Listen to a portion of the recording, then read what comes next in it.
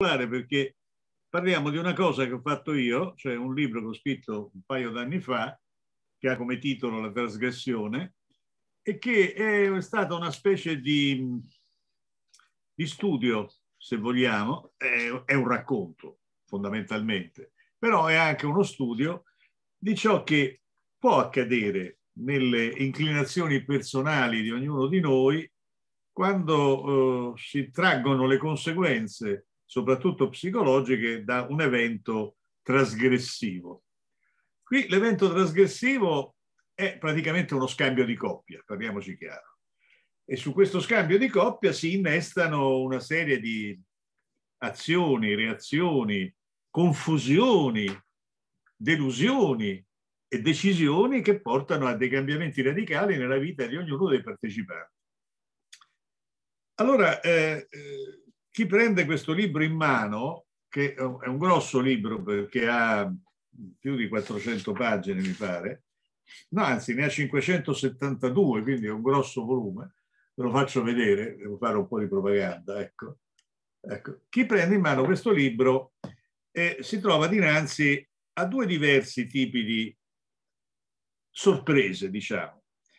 Eh, la prima parte potrebbe sembrare un libro a sfondo pornografico, diciamo, perché in realtà eh, l'incontro fra due coppie in questo scambio è un, eh, porta a delle descrizioni che, che possono anche turbare anime serene e caste come forse ci sono tra voi. Io ho un'amica, ad esempio, che è talmente casta che eh, quando si fa la doccia si mette il costume intero e che non è andata avanti dopo le prime 30 pagine perché era turbata da ciò che leggeva. E il secondo eh, scenario però è quello, eh, direi, psicologico, e cioè consumato l'evento, ognuno torna a casa e ciò che è accaduto lavora dentro ognuna di queste persone e lavora in modo diverso a seconda della personalità di ognuno dei partecipanti. C'è una coppia protagonista, diciamo, che è un po' il filo conduttore del romanzo, e c'è una coppia deuteragonista, cioè quella che, si, eh, che partecipa a questo evento. Ci sono anche altri personaggi ed altre vicende che si intrecciano con queste quattro persone e, e poi si arriva a, ad una serie di sviluppi successivi dovuti proprio alla, al modo con il quale ogni personalità reagisce a questa esperienza. Ci può essere uno che si sente disgustato eh, e abbraccia il monastero, non è così, ma insomma potrebbe essere questo. E c'è chi invece eh, è talmente turbato da eh, uscire dalla sua normale quotidianità, dal sentirsi improvvisamente diverso. E c'è chi infine scopre nel fondo del proprio inconscio delle pulsioni che non pensava di avere e che poi cerca di realizzare in modo sbagliato, in modo corretto. Fondamentalmente queste persone cercano la verità di se stessi, ognuno dentro se stesso, in relazione agli altri, perché si vive poi in relazione agli altri. Ma ognuno cerca una sua verità. C'è un personaggio che mi è caro, un personaggio minore, che è una signora separata, con dei figli, eccetera, eccetera, che è sola e che, eh, ad esempio, cerca uno sfogo la sera eh, scrivendo un po' quello che ha fatto il giorno, fa una specie di diario, ma più che un diario è una lettera. Una lettera che indirizza non sa bene a chi. Lei immagina che ci sia un editore, un editore eh, che, che eh, amministra la sua vita. Allora lei gli scrive praticamente ogni sera dicendo caro editore, oggi è successo questo, è successo quest'altro, ma tu che cosa hai deciso di fare per me? Io ho questo problema, come lo devo risolvere? Io penso di risolverlo così, però dovresti darmi un segno. L'editore ovviamente non risponde. Questo intreccio di personaggi diversi, questa vicenda di questa signora che scrive al suo editore, ovviamente è una finzione letteraria, mi riporta però ad, una, ad un discorso molto più serio, che non sempre viene compreso. Quando si scrive un romanzo, almeno per quella che è la mia esperienza, si dà vita a dei personaggi. Ma non sempre, almeno non accade a me, si ha una trama in testa di come comincia e come finisce una storia. Anzi, in genere si sa sempre come finisce, non si sa come comincia, al contrario di ciò che si dice. Voglio dire che in realtà nei dialoghi, nelle situazioni, nello sviluppo dei personaggi, è lo stesso personaggio creato che prende la mano allo scrittore e gli fa fare quello che il personaggio vuole. Non è l'autore che dirige il personaggio, avviene un fenomeno inverso. Una volta creato il personaggio, questa figura diventa quasi autonoma, va avanti per conto suo, eh, sviluppa, con la mano dello scrittore, sviluppa eh, tutta una serie di relazioni, di reazioni, di considerazioni alle quali l'autore non ha pensato e l'autore diventa uno strumento più che essere il deus ex machina del personaggio. Questa è una cosa che, almeno per quanto mi riguarda, accade, accade sempre, e cioè eh, il, il, protagonista, eh, il, il, personaggio, poi fa da sé e, e, e sviluppa la sua vita in un modo quasi autonomo, quasi indipendentemente dalla volontà di chi invece lo ha creato. È una dissociazione. Eh, intendiamoci, non, non, è una cosa straordinaria perché anche Pirandello, sei personaggi in cerca d'autore, eccetera, eccetera, ha creato un precedente, sia pure di tipo completamente diverso. Sono personaggi, quelli di Pirandello, che vogliono uscire nella vita, che vogliono essere reali. I personaggi che escono modestamente dalla mia penna sono personaggi invece che vivono, che vivono e certe volte mi costringono a seguire loro, i loro desideri, le loro evoluzioni mentali, le loro contorsioni e anche le loro confusioni.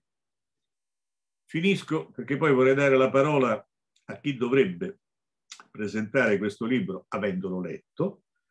E fondamentalmente questa ricerca della verità, alla quale lo devo nasce dalla solitudine. Questa nostra civiltà occidentale, in questo periodo della storia, è la civiltà della solitudine. Quanto più siamo collegati nel tempo e nello spazio con gli strumenti della tecnica come questo di cui stiamo usufruendo, tanto più avvertiamo la nostra solitudine interiore. E in questa solitudine interiore siamo incerti, sbandati, e allora cerchiamo affannosamente di comunicare. Mai come in questo periodo c'è stata questa eh, cascata, ondata, questo fiume di comunicazioni interpersonali che molto spesso lasciano il vuoto, ma qualche volta lasciano delle tracce profonde. E allora, da una parte all'altra del mondo, eh, ci si può incontrare e, e stabilire delle, delle relazioni che sono impensabili ma che sono fondamentalmente determinate da questo bisogno di uscire dalla solitudine. E la solitudine ci è imposta dalla situazione pandemica in questo momento, ci è imposta a volte dalla situazione politica, ci è imposta a volte da una separatezza intellettuale con il mondo che ci circonda. E quindi questa solitudine è, se vogliamo eh, dirla, dirla tutta, è veramente lo scenario nel quale si muovono questi personaggi. Termino qui e vorrei chiedere a Alessandra Fivoli eh, se vuole fare le critiche che lei ritiene e, e, e, introdurre degli argomenti di dibattito. Io difenderò i miei personaggi se devono essere difesi, eh, se invece sono troppo esaltati cercherò di ridurne il valore. Grazie. Grazie Stelio. E ti ringrazio tanto.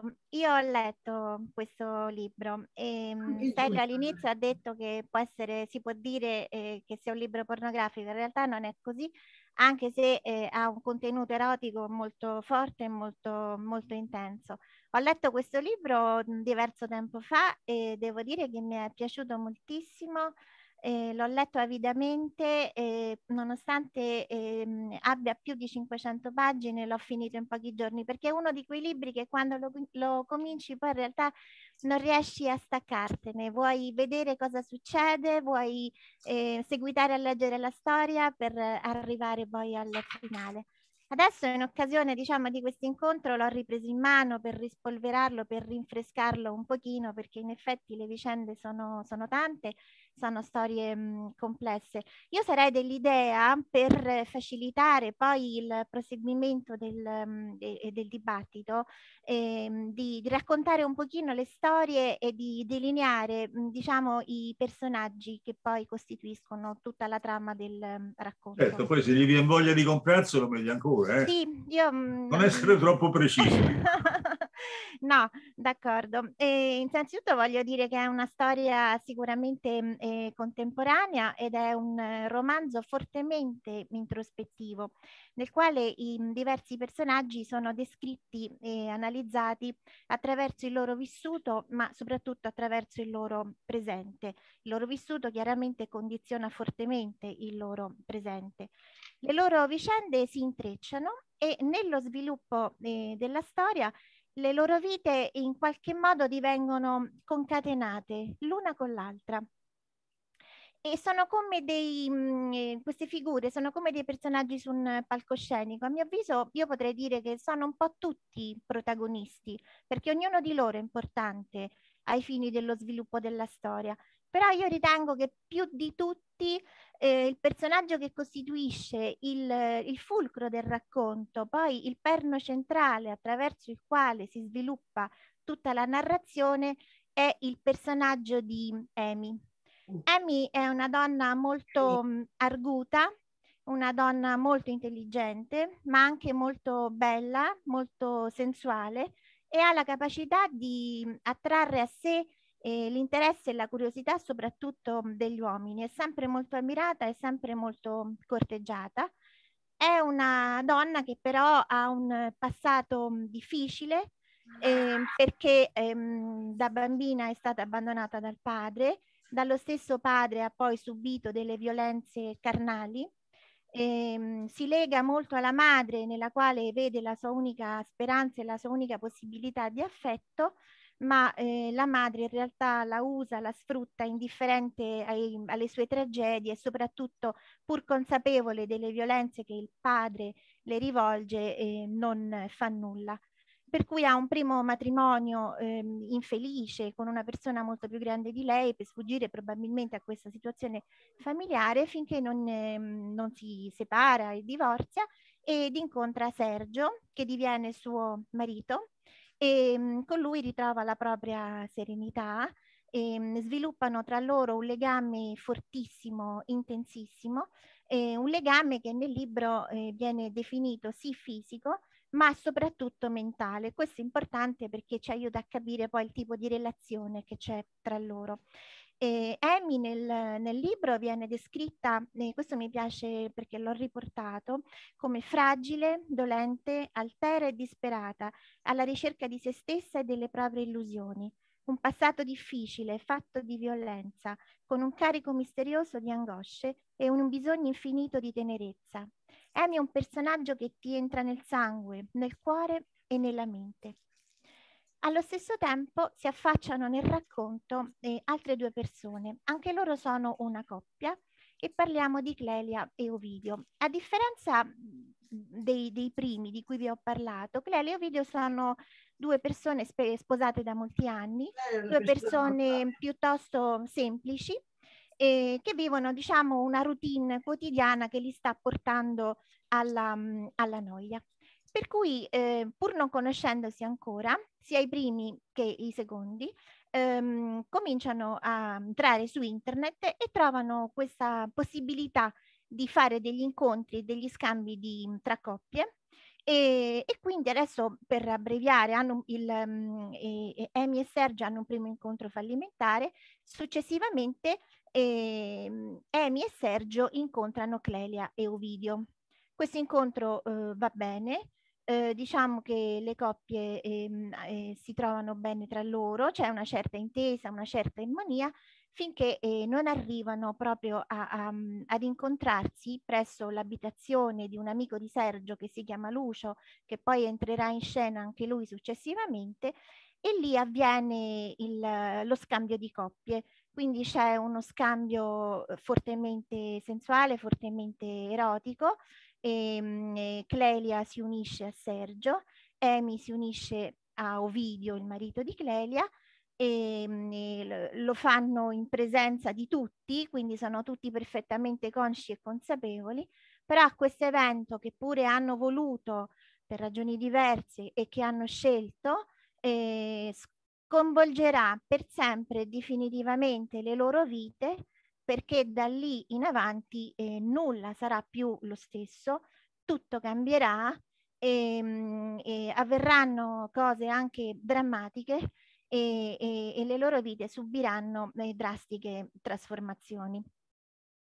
Eh, finito questo incontro, ehm, accade eh, che Ovidio, il marito di Clelia, ehm, eh, rimane eh, profondamente turbato ehm, dall'unione carnale fisica che ha avuto con, ehm, con Amy, eh, molto diversa da sua moglie, prova sensazioni che non aveva mai vissuto e quindi non riesce a togliersela dalla mente e comincia a maturare dentro di sé il desiderio di rivederla, ma questo desiderio è in realtà un desiderio ossessivo, è ossessionato dall'idea di lei, e la vuole di nuovo, la vuole incontrare, non riesce a togliersela dalla testa.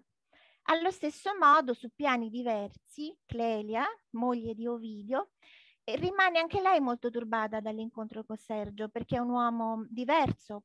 Eh, lei ehm, aveva soltanto conosciuto il proprio marito, non aveva avuto altre esperienze, rimane fortemente infatuata da questo uomo e diciamo che attraverso questa esperienza così forte ehm, riscopre se stessa, si sente diversa e vuole affrontare la vita in un modo totalmente nuovo e, e quindi anche lei entra in crisi, innanzitutto con se stessa e poi entra in crisi con eh, il proprio marito, che è appunto Ovidio. La storia eh, prosegue e, e, piano piano entrano in scena anche gli altri personaggi che poi eh, pian, saranno concatenati l'uno con l'altro nei vari sviluppi che le vicende poi mano a mano ehm, prendono. E, ehm, eh, Ovidio quindi eh, cerca continuamente eh, Amy, la vuole vedere, lei è divertita, non, non si rende ancora conto della, di quello che poi potrà accadere e, ehm, lo incontra una prima volta, e poi lui decide appunto, cerca insomma di, di, di, togliersela dalla testa in un viaggio di lavoro che compie nel treno incontra Giulia, che poi è la persona di cui parlava prima Stelio, quella che tiene una sorta di diario e si rivolge appunto a questo suo eh, presunto editore al quale chiede mh, dei consigli, ma in realtà è un diario, e mh, prova per simpatia eh, per lei e questo forse gli fa credere che possa allontanarsi da Amy, ma non sarà eh, così. Eh, nel frattempo eh, Clelia intreccia una sorta di relazione, di attrazione con Sergio, il quale è affascinato da questa donna, dalla sua semplicità, dalla sua mh, dolcezza e hanno degli incontri dove insomma poi eh, ci sono anche dei risvolti eh, personali molto, molto importanti. Le cose vanno avanti in questo modo. Mh, mm, e adesso non, non, mi dilungo troppo nei dettagli perché ripeto sono 500 pagine e, mm, e, mm, una cosa volevo aggiungere Giulia la persona che Ovidio incontra in treno e con la quale poi avrà una relazione ehm, aveva un compagno questo compagno si chiamava Sergio ma eh, con Sergio diciamo stanno insieme da dieci anni e la loro vita ormai è diventata ripetitiva, rutinaria, noiosa e quindi si, eh, si lasciano. Saverio, eh, Saverio, Saverio, scusami, Saverio. Saverio, sì sì, Saverio. E quindi eh, si lasciano. E Saverio parte per un viaggio notturno per in fondo il tema del viaggio è un tema ricorrente comunque poi nel, nel, nel romanzo e ehm, ritro- molto spesso i personaggi partono in questi viaggi per ritrovare se stessi e durante questi viaggi eh, alla ricerca del proprio io incontrano altre persone. Saverio eh, in questo viaggio notturno approda eh, presso un autogrill dove conosce mm, una giovane donna, Lisia, e con questa giovane donna poi intraprenderà una, una vera e propria relazione. E ehm, arriviamo al fatto, diciamo, eclatante, tragico e drammatico che poi segnerà il, um, il proseguo di tutta la storia. Um, Amy um, crede ormai che la situazione con, um, con, Ovidio si sia tranquillizzata, Ovidio stesso pensa che sia così perché ha iniziato a frequentare Giulia, in realtà eh, colto da un, da un raptus direi di pura e totale follia, eh, decide che vuole a tutti i costi avere eh, Amy, si presenta sotto casa sua, eh, suona il, il citofono, sale su e entra in casa e in preda ad una rabbia furibonda, una follia proprio ehm, di assoluta ir- irrazionalità, aggredisce eh, Amy e la, eh, la violenta, le, le, usa violenza. E, ehm, Amy ovviamente da questo momento in poi ehm, impazzisce perché questa violenza un, le riapre eh, le ferite del suo passato, delle violenze subite dal padre e ehm, perde completamente la testa, ehm, ha il timore di essere rimasta in, incinta e quindi eh, non saprebbe come fare poi nei confronti del proprio marito che sa di non poter avere figli e, e quindi mh, totalmente eh, distrutta nel, nel, corpo e nella mente e, mm, e, si chiude in se stessa e rifiuta ogni contatto con Sergio il quale invece è eh, preoccupatissimo, eh, non capisce che cosa stia accadendo, vorrebbe che lei si aprisse con lui, lei non riesce ad esprimere eh, il proprio dramma, fin tanto che lui non ci arriva da solo, questo scatena una crisi profonda tra i due e, ehm, e decidono per risanare questa loro situazione di eh, partire per un viaggio, un altro viaggio dunque, che possa aiutarli mh, a superare questo problema. Da qui, di qui in poi non, non vi dirò poi la conclusione, ma eh, Amy si incammina verso il, tuo, il suo destino, che come nelle più classiche delle tragedie greche sembra quasi un destino ineluttabile. E nel frattempo Clelia ehm, si lascia con Ovidio e, e curiosamente insomma eh, stringe amicizia con eh, Lucio, amico di Sergio, e poi avrà una relazione con lui. Quindi praticamente eh, viene tutto sparigliato, cioè le coppie iniziali diventano poi altre coppie, altre vite, altre storie, altre situazioni, è tutto in divenire continuo e tutto questo attraverso un'analisi profondissima di ogni singolo personaggio. Ogni singolo personaggio viene proprio valutato, sfaccettato, analizzato nel suo intimo più profondo. Ci sono delle descrizioni bellissime degli stati d'animo, delle sensazioni, ehm, dei, nei dialoghi, nelle scelte che ogni singolo personaggio deve compiere, nel modo che hanno di affrontare eh, la vita. E quindi è un romanzo, io direi corale, pieno di personaggi, a mio avviso tutti protagonisti in qualche modo. Eh, la figura più intensa, più profonda è quella di Amy, che è una figura bellissima perché parliamo di una donna eh, molto intelligente, molto molto bella, con qualità eccezionali, ma allo stesso tempo una figura tragica e, e, per quanto faccia nella propria vita per cercare di essere felice, eh, sembra che non possa in nessun modo sfuggire al proprio destino. Questo direi in sommi capi il racconto. Stereo. Bravissima, bravissima per quanto mi riguarda, bravissima e soprattutto apprezzo molto che tu non abbia detto la, la conclusione. Certo, certo.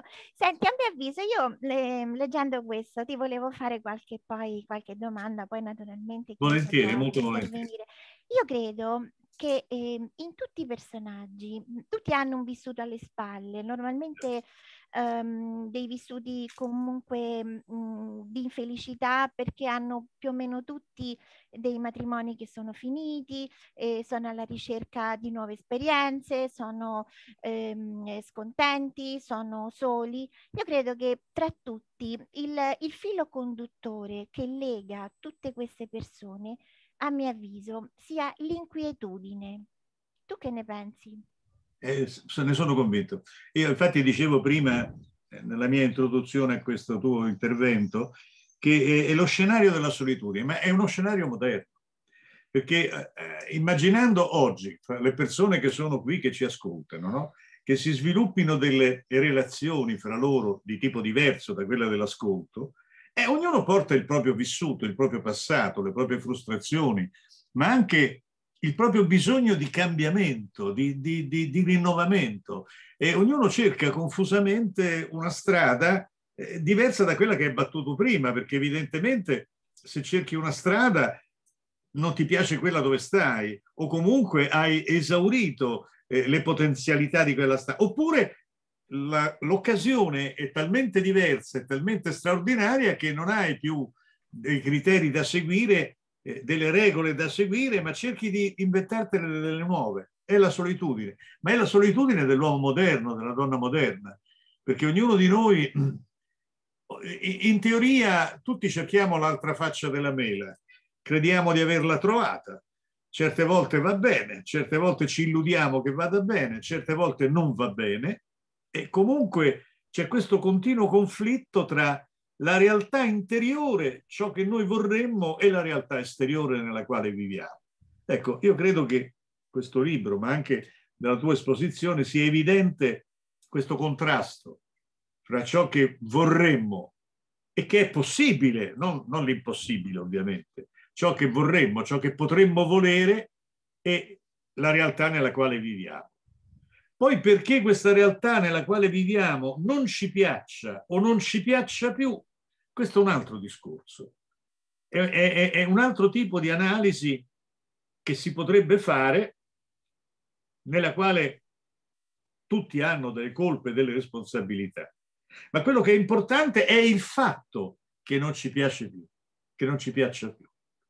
E, e che nessuno è... di loro sa, riesce ad adattarsi alla realtà in cui vive, perché alcune delle realtà descritte eh, potrebbero essere anche sopportabili volendo. Ah, certamente. Però nessuno di loro riesce ad adattarsi perché in ognuno di loro vive una profonda inquietudine. Poi diciamo che quell'esperienza diventa il detonatore no? esatto, di esatto. questa inquietudine e esatto. quindi poi ehm, cambia i ruoli, cambia i giochi e, e, e, e, ognuno poi non riesce più a vivere nei propri panni, deve necessariamente cambiare la propria vita. È un'esperienza radicale, rivoluzionaria. Assolutamente, infatti, in teoria, no? La prima coppia di cui tu hai parlato, in cui Amy è la protagonista, Amy e Sergio sono i protagonisti della storia, è una coppia che è molto legata fra loro sono molto legati. E allora uno potrebbe legittimamente domandarsi perché hanno bisogno di un'esperienza del genere? La seconda coppia è altrettanto legata, ma è legata in un tran tran che è molto comune, molto diffuso. Perché hanno bisogno di questa esperienza? Allora le, la risposta è che nel primo caso la coppia legata, unita, cerca una sfida in questa esperienza, e cioè eh, con la trasgressione riconfermare i propri legami interni. Cerca cioè di sfidare i pericoli perché noi siamo forti. La seconda coppia invece cerca la diversità per ravvivare il rapporto. Quindi sono portati da esperienze diverse che sono sempre però esperienze di solitudine, perché la prima coppia è una coppia legata ma è sola rispetto al mondo che la circonda e quindi ha bisogno di sfide per rafforzarsi. La seconda è sola perché si annoiano fondamentalmente e hanno bisogno di un diversivo. Quindi questo, le ragioni per le quali si arriva allo scambio, intendiamoci, questo non vale per tutte le persone che fanno gli scambisti, eh, in questo caso, eh, eh, sono ragioni diverse, ma in un certo senso ugualmente nobili e spiegabili. Ecco, al di là di quello che può essere un giudizio di carattere morale, di carattere generale. Insomma. Certo. Ho visto poi, sempre nello svolgimento della storia, che in più di un'occasione hai usato ehm, il tema del viaggio. Quindi eh, il viaggio ehm, inteso come allontanarsi per ritrovarsi. Infatti ehm, Ovidio a un certo punto della storia parte con Giulia dopo la violenza esercitata nei confronti di eh, Amy eh, decide di allontanarsi perché la realtà è opprimente ehm, sta quasi per impazzire, insomma non riesce neanche lui ad accettare quello che ha fatto e eh, chiede a Giulia eh, di accompagnarlo in questo viaggio e lei con molta dolcezza gli sta vicino e questo diciamo è il primo viaggio. Um, Saverio, anche Saverio parte e fa un viaggio fa un viaggio sempre anche lui per allontanarsi e per ritrovarsi, perché decide di lasciare Giulia dopo dieci anni comunque di relazione, perché è stanco, non ne può più, non trova più nulla che lo possa, eh, che possa tenere in vita questa mh, storia e anche lui parte per un viaggio e in questo viaggio poi incontra il suo nuovo amore, diciamo, con molte titubanze restio perché tra loro c'è una grande differenza di età, ma poi alla fine eh, se ne convince anche dietro le insistenze di lei e lui eh, si lascia andare. In ultimo c'è il viaggio di Amy e Sergio. Una volta che la verità atroce, durissima, viene fuori, eh, anche loro ehm, ritengono di dover partire, quindi di lasciare eh, la, la, propria città, la propria casa, le loro abitudini eh, per allontanarsi nella speranza di, eh, di ritrovarsi. Seneca diceva che è inutile cambiare il posto se tu non cambi il tuo animo. Io ti volevo chiedere se questi viaggi, queste, questi allontanamenti sono metafore chiaramente, e sono poi utili alla storia ma anche utili ai personaggi e se e se, e se, questi allontanamenti poi danno veramente delle risposte. Nel romanzo sembrerebbe di sì, insomma, in un modo o nell'altro, ehm, anche se portano verso direzioni diverse, però sono, sono efficaci poi. Ma il viaggio è una metafora, se vogliamo, della vita, cioè nel viaggio io mi allontano da ciò che non riesco a superare, abbandono non è una forma di vigliaccheria, ma ad esempio dove è avvenuto un delitto, la casa dove è avvenuto un delitto, dove è avvenuto un reato, almeno per il momento non ci voglio più vivere. Pensate se vengono i ladri, vi svaligiano casa, la casa vi sembra una cosa estranea, quasi nemica, vi dà fastidio. E questo avviene in un caso. Nel caso di Saverio che lascia Giulia dopo dieci anni di convivenza, eccetera, Lì siamo arrivati a un punto di saturazione. Lui se ne va, sa di fare una cosa che non va bene perché avrebbe dovuto dirglielo, avrebbe dovuto farglielo capire, però vuole evitare lo strazio del confronto, anche perché poi lui vuol bene a questa donna, solo che questa donna non gli dice più nulla. Allora se ne va. Dove va? Non lo sa, va all'avventura. Si ferma a prendere un caffè, chiacchiera con la barista, eh, non riesce a fare benzina perché è tardi, resta in quella città. È uno sbandato, se vogliamo, ma è un uomo che alla fine della vita e che con questo episodio crede, abbandonando questa relazione, crede di aver chiuso. E invece, stranamente, ricomincia una storia per lui.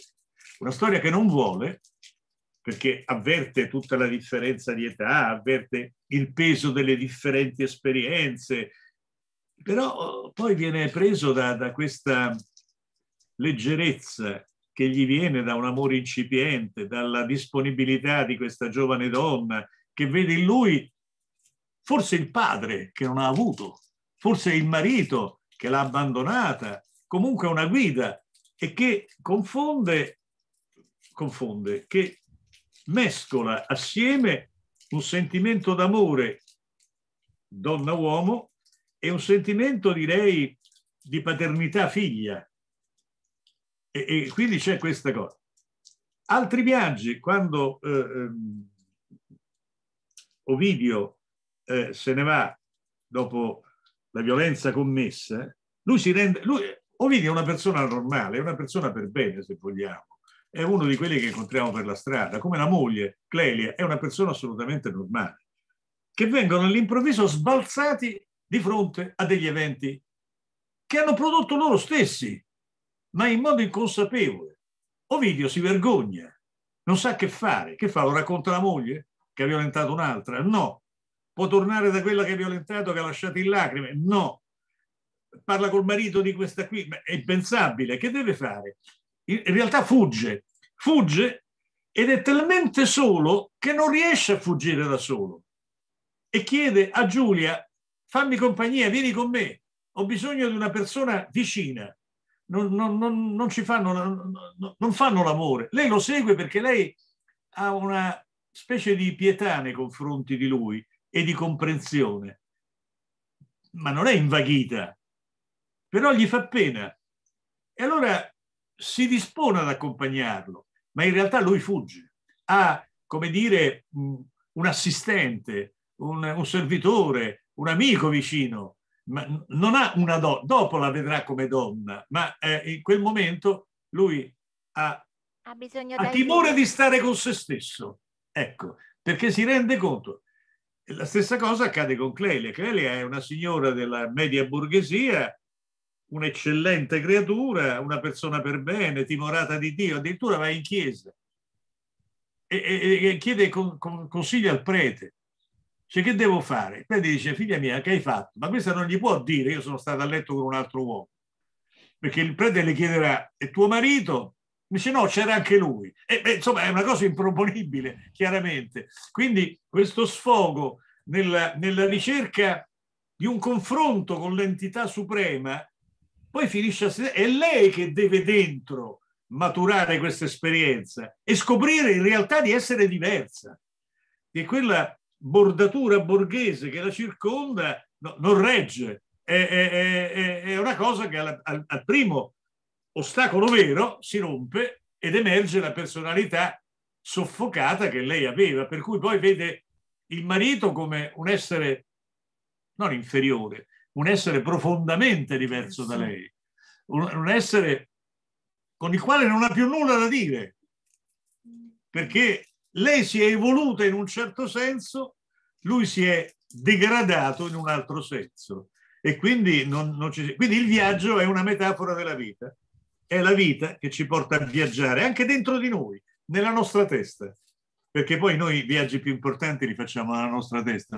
È vero, è verissimo, condivido pienamente quello, quello che hai detto. Un'altra cosa che mh, volevo un attimo approfondire con te e il personaggio mh, che potremmo dire principale, perché comunque quello che ti colpisce di più è la figura femminile di Amy.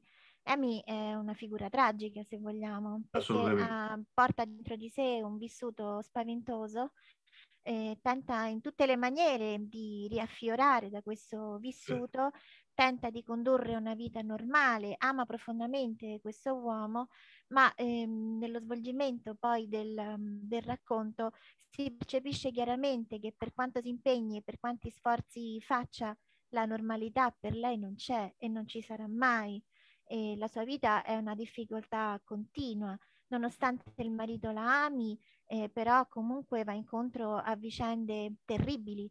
Ehm, c'è una sorta di su di lei del, di instabilità del fato, no? Sì. È come se lei eh, avesse questa macchia addosso dalla quale cerca di sfuggire in tutte le maniere, sì. ma non può, non può evitarlo.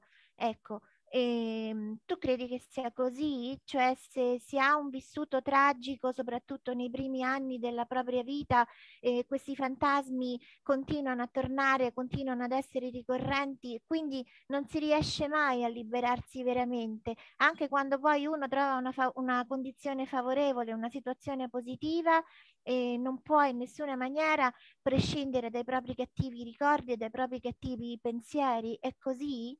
Guarda, io credo, sì, è così.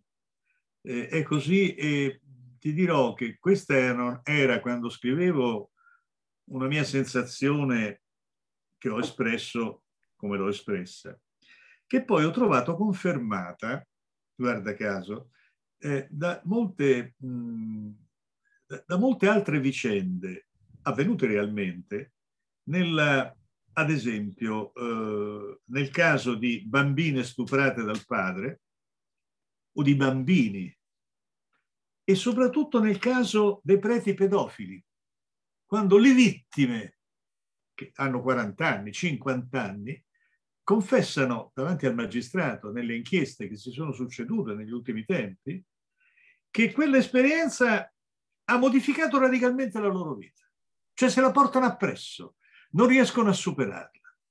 Eh, Amy ha una doppia condanna, è bella e quindi attira gli uomini, è bella. E questa bellezza per lei è fatale, perché ogni volta che un uomo si accosta a lei, se non ha una grande forza d'amore quest'uomo, la riporta indietro, al momento in cui attraeva il padre, o attraeva il dentista, o attraeva le persone con cui aveva a che fare. Quindi questa sua bellezza così, così intrigante, unita alla sua intelligenza, alla sua vivacità, diventa un fattore di rischio. Cosa che non è invece per Clelia, che è una donna assolutamente normale, una bella donna come tante, ma che non ha vissuto questi momenti. Li vivrà dopo, ma li vive non avendo una tara precedente così grave, così forte, come quella del, delle attenzioni del padre. E e delle colpevoli disattenzioni della madre, che lì c'è una coppia malefica all'inizio che determina questa deviazione profonda nello spirito della, della protagonista. Quindi sì, eh, è, è una nemesi, è una figura tragica, è una figura intrigante, quello che si vuole, ma una figura tragica che non può sfuggire al proprio destino in nessuna maniera. No, perché se fosse brutta la eviterebbero, allora se lo scorderebbe. Essendo certo. bella, ogni, ogni, ogni, approccio per lei è, la, la, la, riporta indietro. E, e il fatto che l'uomo con cui vive sia riuscito a penetrare nella sua corazza difensiva è perché quest'uomo l'ama, non vuole portarla a letto, l'ama e lei percepisce questa diversa carica affettiva, che non è solo una carica sensuale, ma è una carica emotiva. Quello lo percepisce perché non c'è abituata. Ecco perché tu leggevi bisognosa di tenerezza, eccetera, eccetera, perché è quello che le è mancato.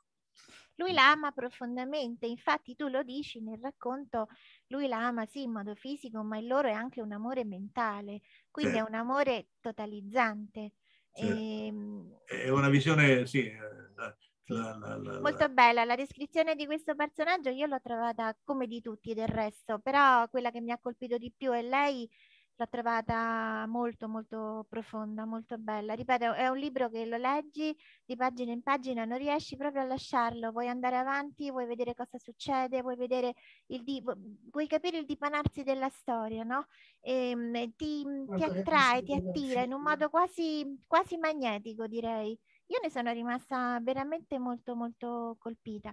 È una storia, dicevo all'inizio, contemporanea, una storia dei nostri giorni, si parla di internet, di scambi. E, um, ti sei ispirato quindi al, al reale, diciamo, no? A assolutamente. a cose che accadono, cioè mh, sono storie vere, vere. Assolutamente, assolutamente. Sono storie vere. E, sì, tra l'altro, fare... sì. tra l'altro, scusami, molti dei personaggi li ho conosciuti. Alcuni sono ecco, quindi veri. sono veramente reali. Alcuni sono veramente reali, deformati, da, certo. ovviamente, ma alcuni sono, sono reali.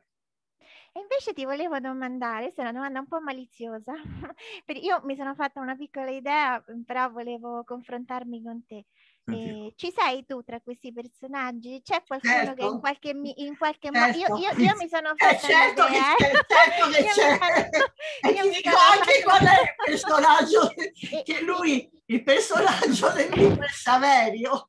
Ecco, ecco, anche io mi ero fatta questa idea, non tanto in, nel, in quello che accade, ma perché no, ti no, somiglia in qualche modo, ti somiglia nel modo di pensare, nel modo di eh, vedere certo. le cose, nelle riflessioni molto profonde che fa? Ecco, anch'io mi ero fatta un pochino questa idea e volevo da te una conferma. Beh, tutti i personaggi hanno un po' di me, perché è chiaro che chi scrive ci mette se stesso.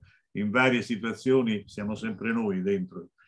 E ti dirò che di tutti questi personaggi, forse, ecco, Saveri è quello che più mi, mi assomiglia, ma anche Lucio. Anche sì. Lucio. Eh, diciamo, me da giovane Lucio, me, meno giovane Saverio, ecco. È vero, è vero. Lucio mi ha spiazzato moltissimo, mi ha spiazzato moltissimo quando chiede a Clelia, della, della quale si è ovviamente innamorato, innamorato. le chiede di sposarlo ah, e sì. lo fa al telefono. sì.